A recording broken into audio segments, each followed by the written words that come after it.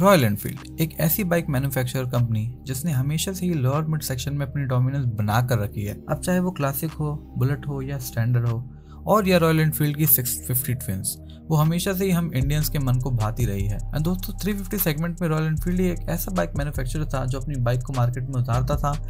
And कोई भी rival ना होने की वजह से शुरू से ही अपनी डोमिनेंस बना कर रखी। क्योंकि दोस्तों 350 सेगमेंट में ना रॉयल एनफील्ड मार्केट का बहुत सारा शेयर होल्ड करता था। दोस्तों मार्केट में जावा बाइक भी अवेलेबल थी बट यस रॉयल एनफील्ड का जो मार्केट था, वो बहुत बड़ा था।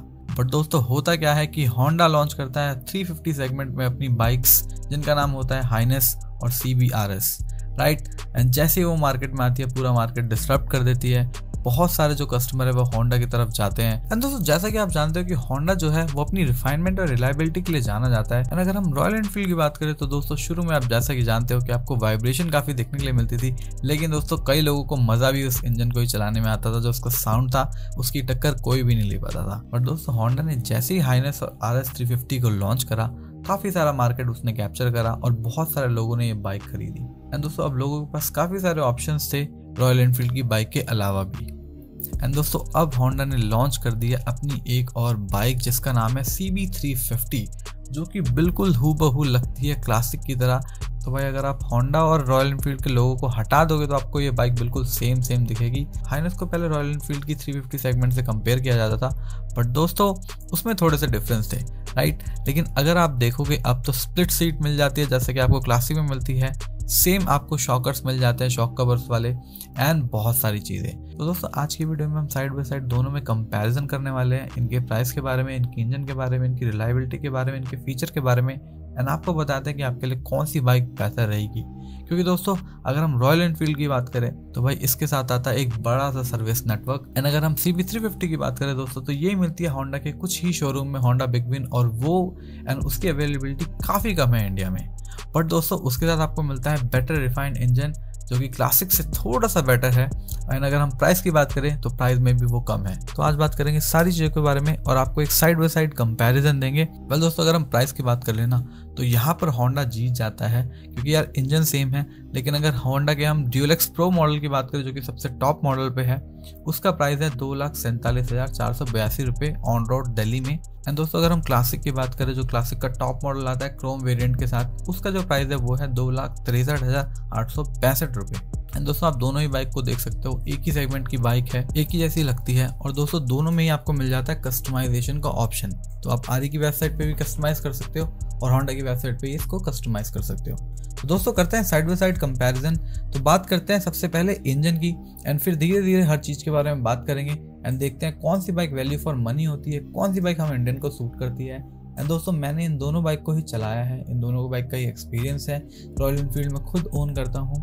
तो दोस्तों स्टार्ट करते हैं वीडियो के अंदर बात करते हैं बाइक के हार्ट के बारे में, जो कि होता है इंजन एंड दोनों को कंपेयर करता है कि किसमें आपको कितनी पावर मिलती है। तो दोस्तों, अगर हम क्लासिक की बात करें तो इसके साथ आपको मिलता है 349.34 सीसी का इंजन एंड अगर मैं होंडा की बात करूँ तो आपको मिलता है 348.36 सीसी का इंजन तो यहाँ अगर आप देखोगे तो सीसी में रॉयल एनफील्ड स्लाइटली बेटर है। लेकिन अगर हम टॉर्क की बात करें, दोस्तों तो टॉर्क आपको होंडा में ज़्यादा मिलता है। होंडा में आपको मिलता है 29.4 न्यूटन मीटर का टॉर्क एट 3000 आरपीएम और अगर मैं क्लासिक की बात करूँ तो आपको मिलता है 27 न्यूटन मीटर का टॉर्क 4000 आरपीएम पे। तो आप देख सकते हो होंडा में जो है टॉर्क ज़्यादा है, वो भी कम आरपीएम पे और क्लासिक में है, ये थोड़ा सा कम है। दोस्तों, दोनों के साथ ही four stroke air cooled engine आते हैं और अगर मैं क्लासिक की बात करूँ तो क्लासिक जो पावर प्रोड्यूस करती है, वो करती है 20.21 पीएस की पावर एंड अगर मैं होंडा की बात करूँ तो ये प्रोड्यूस करती है 21.07 पीएस की पावर तो दोस्तों, अगर आप देखोगे तो सीसी जो है रॉयल एनफील्ड की ज़्यादा है वन पॉइंट से बट अगर पावर और टॉक की बात करूँ तो आपको सी बी थ्री फिफ्टी में ज़्यादा मिलती है. अगर मैं दोनों के टॉप मॉडल की बात करूँ तो यार प्राइस में डिफरेंस है और क्लासिक थोड़ी सी एक्सपेंसिव है.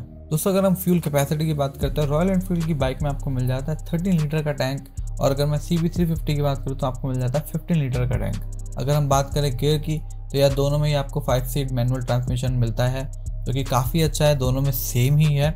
और उसी के साथ साथ दोस्तों, अगर हम बात करें लुक की तो लुक भी यार ऑलमोस्ट सेम ही है। एंड दोस्तों, अगर मैं प्राइस की बात करूँ तो यार दोनों ही बाइक्स में आपको डिफरेंट मॉडल्स मिल जाते हैं, जिनके प्राइजेस बहुत कम भी हैं, बहुत ज़्यादा भी है। क्लासिक में भी ऐसे कई मॉडल आते हैं, जिनकी प्राइस बहुत कम है।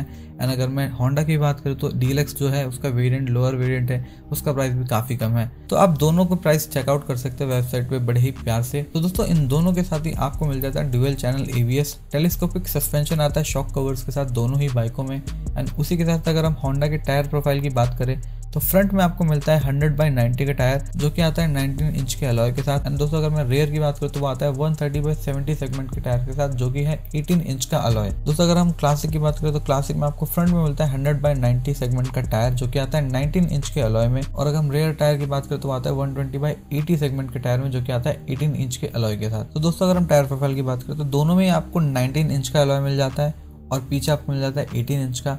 और अगर हम टायर सेक्शन की बात करें रेयर की तो यार of course C B three fifty में आपको स्लाइटली वाइडर टायर मिल जाता है जो कि आपको आता है वन थर्टी सेगमेंट का। एंड उसी के साथ साथ दोस्तों अगर हम हेडलाइट की बात करें तो सी वी थ्री फिफ्टी में आपको एलईडी हेडलाइट मिलती है और क्लासिक में भी आप, आपको एलईडी हेडलाइट मिलती है। उसी के साथ साथ दोस्तों अगर हम बात करें इंडिकेटर्स की तो यार सी वी थ्री फिफ्टी में फुल्ली आपको एलईडी सेटअप मिलता है। क्लासिक में मिलता है आपको हेलोजन सेटअप बट यस आप कंपनी से बात करके उसको एलईडी भी करवा सकते हो। इसी के साथ साथ दोस्तों अगर आप देखोगे तो दोनों में स्प्लिट सीट का ऑप्शन मिलता है।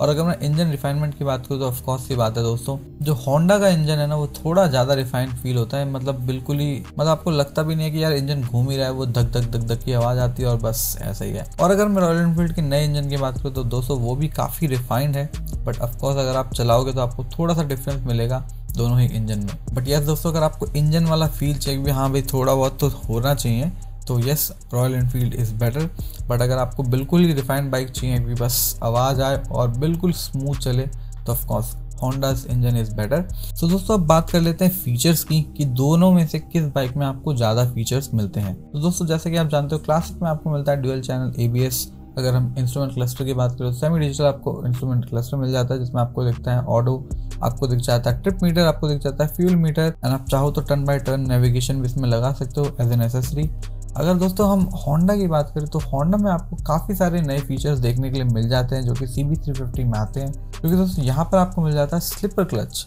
जो कि काफ़ी अच्छी चीज़ है। एंड उसके साथ साथ दोस्तों होंडा ने एक नई चीज़ लॉन्च करी है, जिसका नाम है होंडा सिलेक्टेबल टॉर्क उसके साथ दोस्तों, अगर हम बात करें इसके मीटर कंसोल की तो सेम दोस्तों, आपको सेमी डिजिटल मीटर मिल जाता है। लेकिन यहाँ पर थोड़े से जो है फीचर्स ज़्यादा मिल जाते हैं आपको। एंड यहाँ पर दोस्तों काफ़ी सारे आपको नोटिफिकेशन दिख जाते हैं कि भाई आपकी बाइक का स्टैंड लगा है या नहीं लगा है, आपकी बाइक ईगो में चल रही है ए ऑन है या नहीं है। दोस्तों दोनों में ही स्विचेबल ए नहीं आता है। मतलब कि यार ये स्टैंडर्ड ऑन है तो ऑन ही है, आप इसको ऑफ़ नहीं कर सकते हो और आपको करना भी नहीं चाहिए। दोस्तों दोनों काफ़ी अच्छी बाइक है। चाहे आप टूरिंग करना चाहते हो, चाहे आप हाईवे राइड करना चाहते हो, चाहे आप सिटी में राइड करना चाहते हो, इस सेगमेंट की बाइक में ये दोनों बाइक ही डोमिनेंस करती है दोस्तों। इंजन दोनों ही बाइकों में बहुत बढ़िया है। एंड आपको कभी भी ऐसा फील नहीं हो कि भाई यार बहुत हैवी है। सिटी राइड पर्पज से जॉब के पर्पज से, या फिर हैवी राइड की वजह से, या फिर ट्रैवल की वजह से, आप इन दोनों बाइकों को ले सकते हो बड़े ही प्यार से। तो दोस्तों, अब बात कर लेते हैं दोनों ही बाइक के प्लस पॉइंट एंड नेगेटिव्स की। एंड उसके बाद मैं अपना पर्सनल एक्सपीरियंस बताऊँगा इन दोनों को चलाने का कि भाई मेरा एक्सपीरियंस कैसा रहा। तो दोस्तों, अगर हम प्राइस की बात करें तो ऑलमोस्ट सेम है। बट येस रॉयल एनफील्ड की बात करें तो रॉयल एनफील्ड के दोस्तों शोरूम हर जगह अवेलेबल है। मतलब आप कहीं भी खड़े हो जाओ इंडिया में वहाँ पर आप सर्च करो, आपको आइट साइड में शोरूम मिल ही जाएगा रॉयल इनफील्ड का और सर्विस भी काफ़ी अच्छे से अवेलेबल हो जाएगी। लेकिन दोस्तों, अगर हम होंडा की बात करें तो C B three fifty Highness वगैरह जो ऐसी बाइक है, वो सिर्फ़ आपको होंडा बिग विंग में अवेलेबल होती है और जो इनकी संख्या है, या फिर इनके नंबर्स हैं, इनके शोरूम्स के नंबर हैं, वो बहुत बहुत कम है और इनकी सर्विस भी वहीं होती है। तो दोस्तों, अगर आप इंडिया में एक ऐसे इलाके पे हो जो कि काफ़ी डेवलप नहीं है और वहाँ पर मार्केट साइज़ इतना नहीं है तो शायद आप इस बाइक को परचेस नहीं कर पाओगे। बट यस दोस्तों क्लासिक जो है वो हर जगह अवेलेबल होगी। अगर मैं सर्विस की बात करूँ, दोस्तों सर्विस नेटवर्क रॉयल एनफील्ड का बहुत बड़ा है। यस होंडा के भी होंडा की नॉर्मल बाइक हर जगह सर्विस हो सकती है। लेकिन दोस्तों जैसे कि हम बात करें सी बी थ्री फिफ्टी की तो यार ये सिर्फ़ होंडा बिग विंग के शोरूम्स में और वहीं पर सर्विस होगी जिनकी अवेलेबिलिटी काफ़ी कम है। तो यहाँ पर रॉयल एनफील्ड जो है वो क्लियरली विनर बनता है। और भाई ऑफकोर्स काफ़ी टाइम से आ रहा है। तो यार, लोगों के मन में जो विश्वास है, जो ट्रस्ट है, वो रॉयल एनफील्ड के प्रति ज़्यादा है। अगर दोस्तों मैं होंडा की बात करूँ तो यार होंडा का जो इंजन है, वो काफ़ी रिफाइन है। कम सीसी होने के बाद भी जो पावर है, जो टॉर्क है दोस्तों, वो आपको होंडा में ज़्यादा मिलता है। इंजन बहुत ही स्मूथ है रिलायबिलिटी इश्यूज़ बहुत ही कम आते हैं। मतलब ऐसा बहुत ही कम होगा कि आप इस बाइक को कहीं लेके जा रहे हो, ये बाइक बंद पड़ जाती है। तो दोस्तों, उसमें जैपनीज टेक्नोलॉजी का कोई जवाब नहीं है but yes Royal Enfield is also great उसी के साथ साथ दोस्तों, जो होंडा की बाइक का प्राइस है, वो भी कम है एंड आपको काफ़ी सारे फीचर्स मिल जाते हैं। जबकि आपको क्लासिक में स्लिपर से क्लच नहीं मिलता। होंडा पे आपको वो मिल जाता है और जो होंडा का नया टॉर्क वाला सिस्टम है, वो भी आपको रॉयल इनफील्ड में देखने के लिए मिलता। एंड दोस्तों, उसी के साथ साथ काफ़ी सारे फीचर हैं जो आपको होंडा की बाइक में मिलते हैं। दोस्तों, अगर आप दोनों को सामने खड़ी करके देखोगे तो यार ऑफकोर्स रॉयल इनफील्ड की जो क्लासिक है वो ज़्यादा बल्कि लगती है, ज़्यादा बड़ी लगती है। अगर मैं होंडा की बात करती तो यार देखो, बोलना नहीं चाहिए but yes it looks like kind of Splendor थोड़ा सा बड़ा वेरिएंट ऑफ़ स्प्लेंडर ये but on the other hand Honda की जो सी वी थ्री फिफ्टी है, वो ज़्यादा प्रीमियम लगती है। क्योंकि दोस्तों, उसमें जो है क्रोम का जो है ना, काफ़ी ज़्यादा यूज़ करा गया है, जो उसके मॉडल है। और यस अगर हम बात करें क्लासिक की भी तो उसके अगर मैं टॉप वेरिएंट की बात करूँ तो ऑफकोर्स उसमें बहुत सारा क्रोम यूज़ करा है। एंड वो भी काफ़ी प्रीमियम लगती है बट यस दोस्तों built wise finish wise Honda C B fifty clearly wins the show क्योंकि यार उसकी बिल्ड क्वालिटी ना रॉयल एनफील्ड से थोड़ी सी बेटर है। सो so, दोस्तों अब बात करते हैं एग्जॉस्ट नोट की। तो यार एग्जॉस्ट नोट ऑफकोर्स सी बात है जो बुलेट का एग्जॉस्ट था दोस्तों हमेशा से ही लोगों को पसंद आता है। लेकिन अब जो है अब इन बाइक्स में जे सीरीज़ का इंजन आता है। तो वो आवाज़ अब आपको नहीं मिलती। अगर मैं थम की बात करूँ दोस्तों, मैं बेस की बात करूँ तो अफकोर्स सी वी फिफ्टी में आपको ये बेटर मिलता है। बट यस दोस्तों क्लासिक में भी ऐसा कुछ कम नहीं है। सेम सेम सा ही है बट यस जो थम साउंड होता है, वो सी वी थ्री में आपको बेटर मिलने वाला है। ये तो एक छोटा सा वीडियो इन दोनों बाइक का साइड बाय साइड कंपैरिजन का। आई होप ये वीडियो इन्फॉर्मेटिव रहा अगर ये वीडियो इन्फॉर्मेटिव रहा तो प्लीज़ चैनल को सब्सक्राइब करिएगा, क्योंकि उससे मिलती है मोटिवेशन ऐसी और वीडियोस बनाने के लिए। एंड हम आपसे मिलते हैं किसी और वीडियो में। Till then take care bye bye and see you